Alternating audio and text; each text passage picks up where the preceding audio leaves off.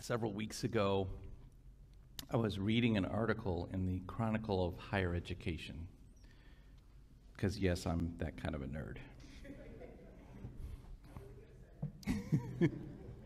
it's actually a fascinating uh, journal. It's a, as you can well imagine, it's geared towards higher education, administrators, staff, faculty, um, and um, reading the articles recently, there's been a lot of struggle in our in our higher education. Um, I could say there's been a lot of struggle in and then everything, right? this one happens to focus on higher education.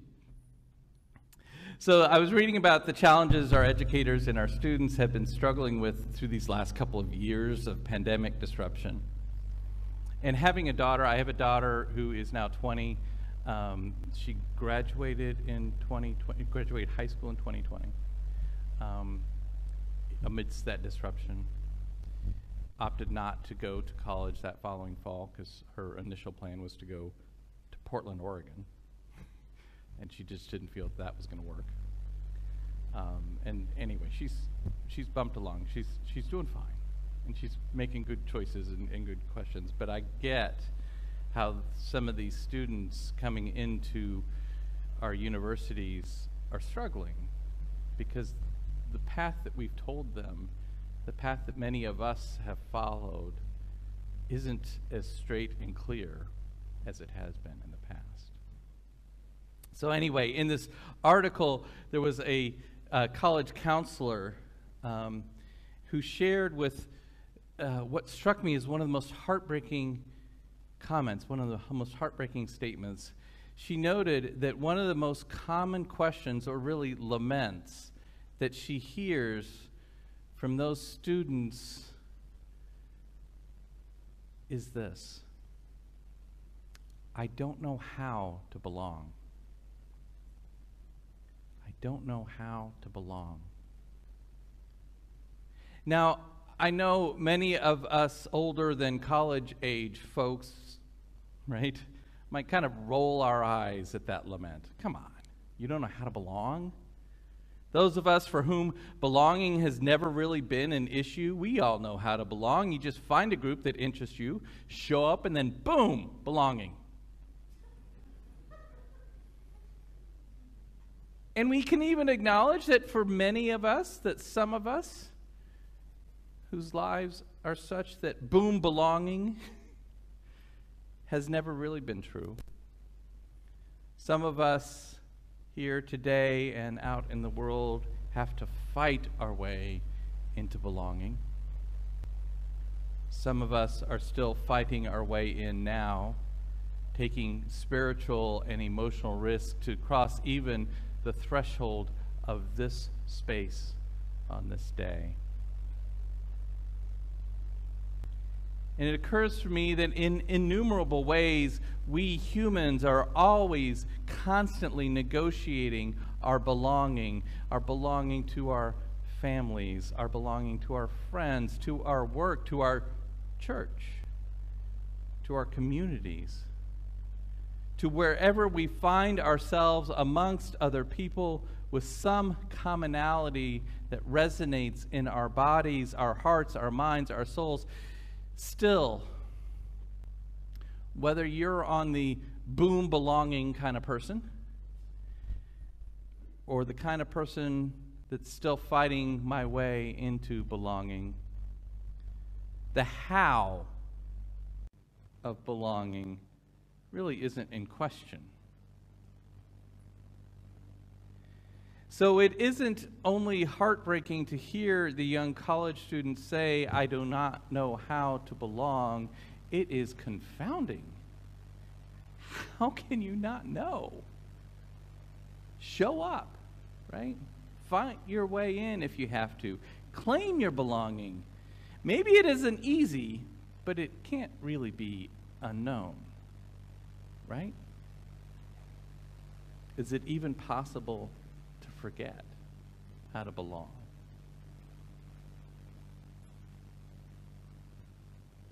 But the, ques- the question should give us pause. It has for me at least. It's been probably two months since I read that. And that phrase, I don't know how to belong, has been rolling through my head ever since. And I wonder if there isn't something missing, some unspoken or even unknown piece of searching inside those students. Which brought me to Boethius. Boethius. You all remember Boethius, right? You know, come on, you remember Anicius, Manlius, Severinus, Boethius? That sixth century Roman senator, historian, and philosopher? No? Yeah, me neither. I, no. Until three months ago, I don't think I had ever heard of this guy even though it turns out he wrote a best selling book. Like the kind of book that would have topped the New York Times bestseller list for a couple of hundred years, and at the time, had there at the time been a New York Times bestseller list, or a New York Times, or a New York, or an Old York, or Amsterdam. Never mind. I'm sorry, where was I? Boethius. So, in the odd case, and I, I, know it's brilliant people in this room, and, and you already all know this story, but in, in, the odd case, for one or two of us that hadn't heard this very famous book that I'd never heard of, called The Consolation of Philosophy, I'll give you the, the, the briefest of notes on this.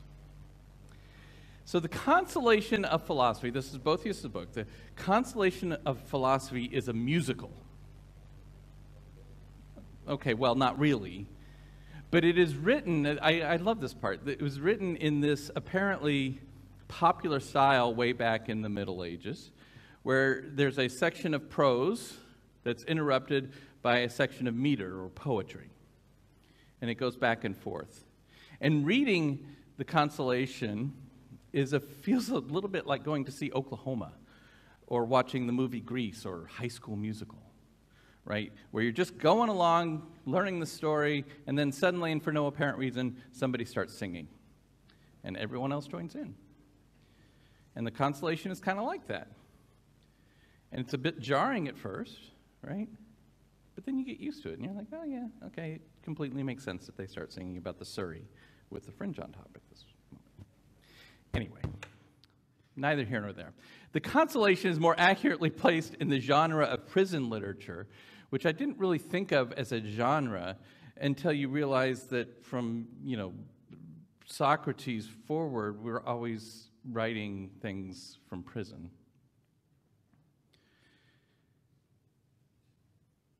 So that prison literature is, is it's apparently when we find ourselves imprisoned, we also find ourselves with maybe the time and inclination to write about it. And there's something about, I think there is something about having one's freedom taken from them or constrained from them that inspires this kind of literary outpouring.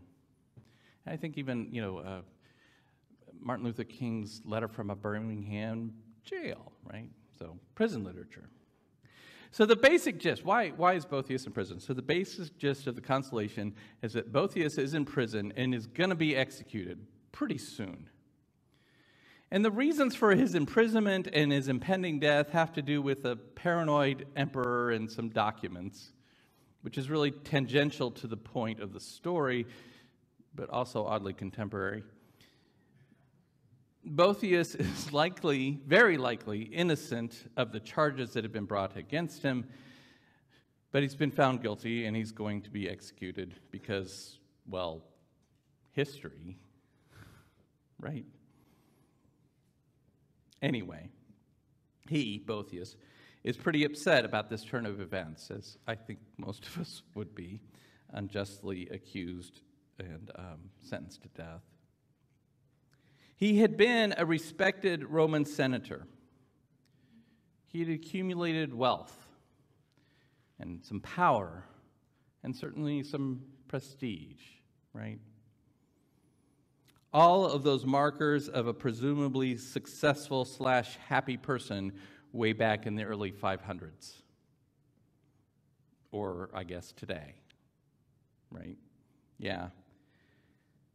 In, re- in reading Boethius, I thought, oh, turns out that our living generations didn't invent, didn't invent the idea that wealth, power, or fame were equivalent to or even lead to happiness. Sorry.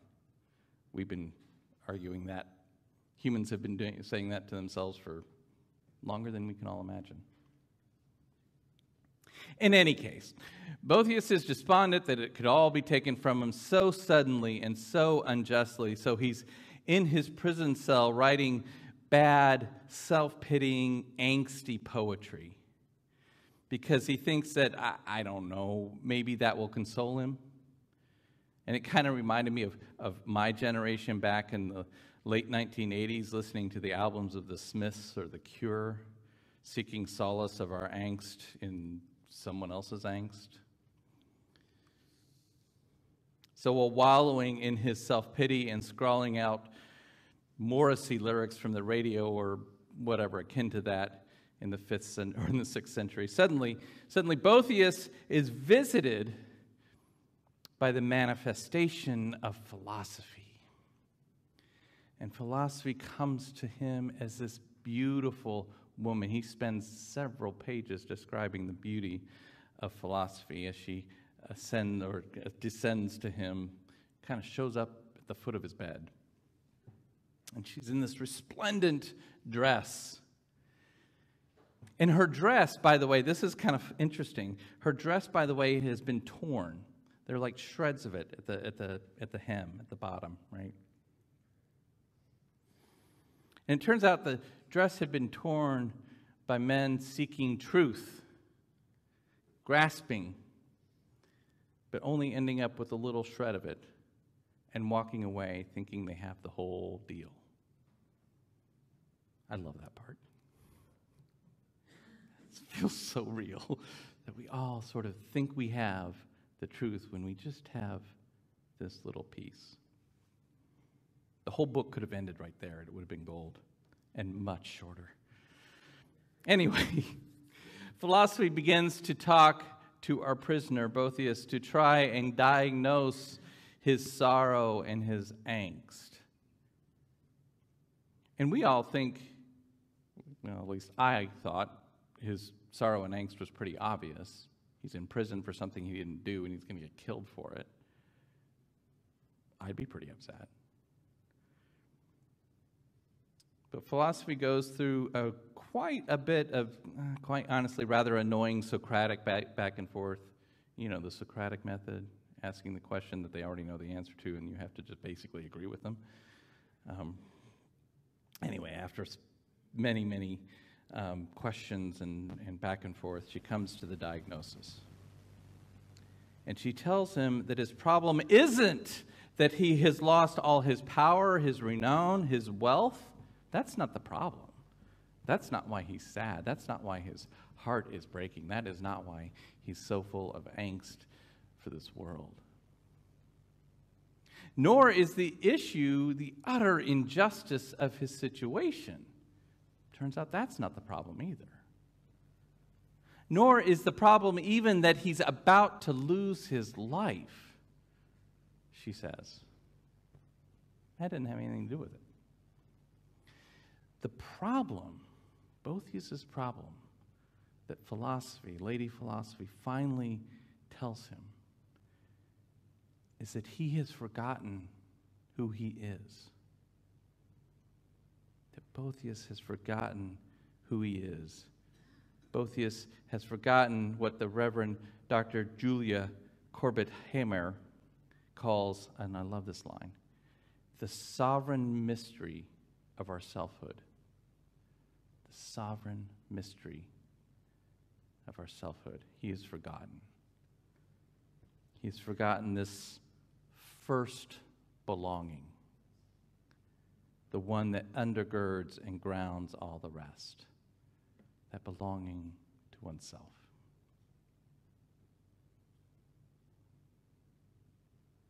So perhaps then this is the deeper hidden question behind those students' laments about not knowing how to belong. That's maybe the thing they say, but deep, more deeply within them, it isn't that they don't know how to belong with and to others. It's that they, like Boethius, have forgotten their first belonging to themselves. And that resonates deeply with me. And it resonates deeply because as I listen to people wrestling with their lives, recalibrating their lives after so much disruption, after and through this bewildering disruption of a global pandemic. Or maybe it's the bewildering disruption of global climate change or the bewildering disruptions of our democracies, or whatever the bewildering disruption of the thing that you presumed was stable, reliable, able to be counted on. For Boethius, his stability was in his status, his wealth, his position, but of course, those are all ephemeral. Those all can be taken away as they were for him. So, no matter the instigating bewilderment, I think most everyone I know has at one time or another forgotten that their first belonging is to themselves. And that self belonging is the core to belonging to our families. It's the core to belonging to our friends, our work, our church, our communities, our bridge club, our golf clubs, our book clubs, our teams. The thing is, though, friends, is that we are smart, well trained people. We have a lifetime of experience in our cultures that have taught us that belonging, that happiness, that who we are is all grounded in externalities. We've been inculcated into responding to the question, Who are you? with either the work we do, I'm a minister or the relationships we hold, I'm a father. Or the ideologies we ascribe to, I'm an American. Minister, father, American, those are all externalities. And it's not that those things aren't true or that we're not asserting ourselves, negotiating ourselves into those belongings. The problem for us and for Boethius is that these are almost all external to that sovereign mystery of our selfhood. And it's these externalities, these externalities are so contingent. They are fragile. And, and, and we think they're stable. We think we can hold on to them and count on them, but they are so fragile and they can be taken away from us, justly or not. Which is why I think that philosophy is telling Boethius that he has forgotten who he is. Because when we know, because when we know who we are, when I know who I am, when I am connected to that first belonging, that cannot be taken away. Can't be taken away from me. We cannot lose it.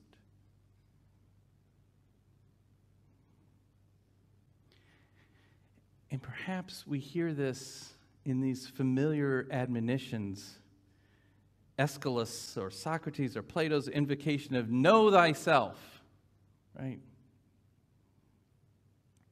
Or Polonius' famous line in Hamlet to thine own self be true. Or Emerson and his motto, trust thyself. These assertions from brilliant minds that tell us that our self knowledge is key to living. As if self knowledge was that simple. Yeah? Even the venerable Ben Franklin, observed the tension embedded in the admonition to know thyself. He wrote, I love this. He wrote, There are three things extremely hard steel, a diamond, and to know oneself. No wonder we find it easier to look to the externalities for our belonging. In an essay, it's actually a long series of essays called The Technologies of Self, Technologies of the Self. The French philosopher Michel Foucault drew an interesting and important distinction. I had not known this. So the ancient Greeks had two phrases related to this self-knowledge business. There's the one you're probably most familiar with is know thyself. Know thyself. Which in part had to do with humility. Partly the Greeks were worried that you thought yourself a god, when you need to dial it back a bit. Right? Of knowing one's place in the cosmos, of knowing that we weren't God. Know thyself, though, also demanded a kind of intellectual self examination. Or if you're me, intellectual self cross examination. Sometimes feels like an interrogation, tied down and being yelled at. But Foucault notes there was an earlier phrase before they started saying know thyself. Predate it was gnothi saton. Pardon my really terrible Greek. but gnothi saton was know thyself. But there was another one, and this is going to be even worse Greek. Ready? I can't even do it.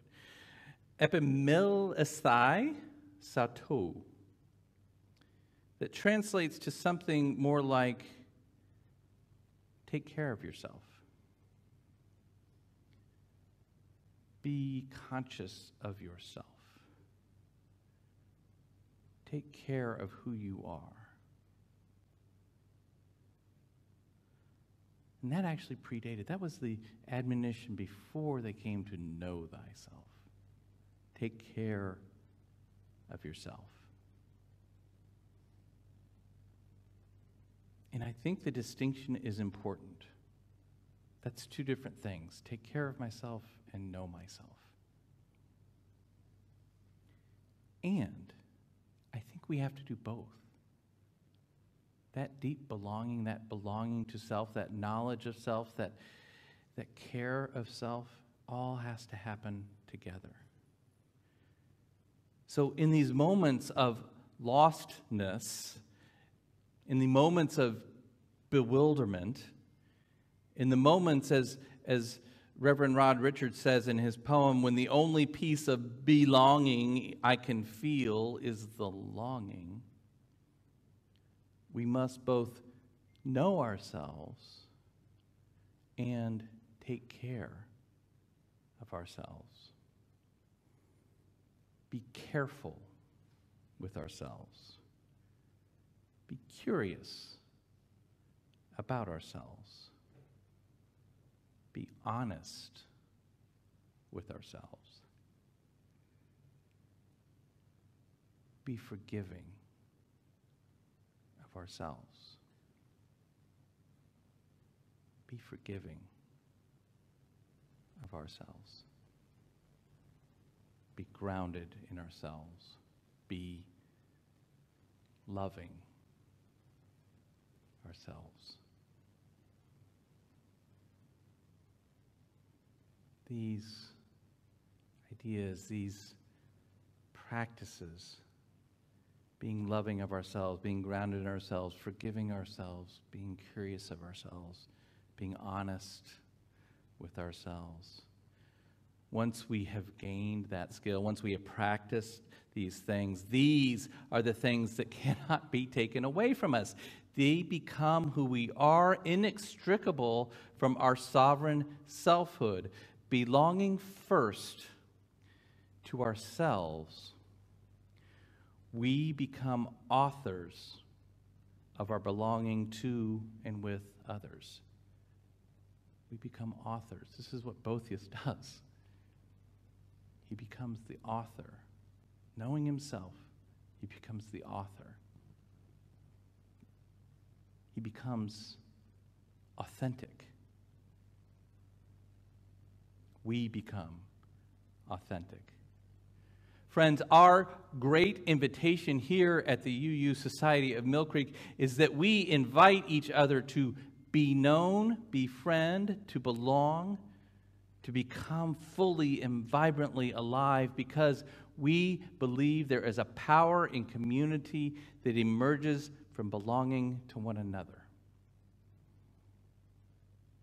And that invitation, that invitation can really only be truly accepted when we have, at long last, remembered our first belonging. And in so doing, we show up as authentically ourselves, ready now to belong. Amen, my friends. And I love you. And may we live this blessing.